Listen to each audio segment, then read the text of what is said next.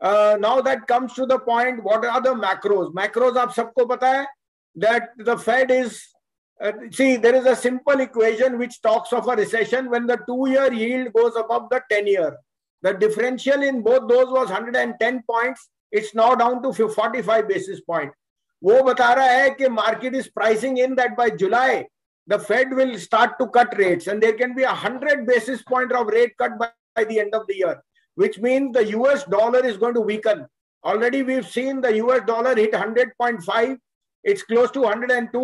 मुझे कोई दो राय नहीं the US dollar is going to go to 98 और us कारण से emerging markets will do extremely well if you remember four five months back there was talk that Europe is the deepest, you know, is the biggest elephant in the room.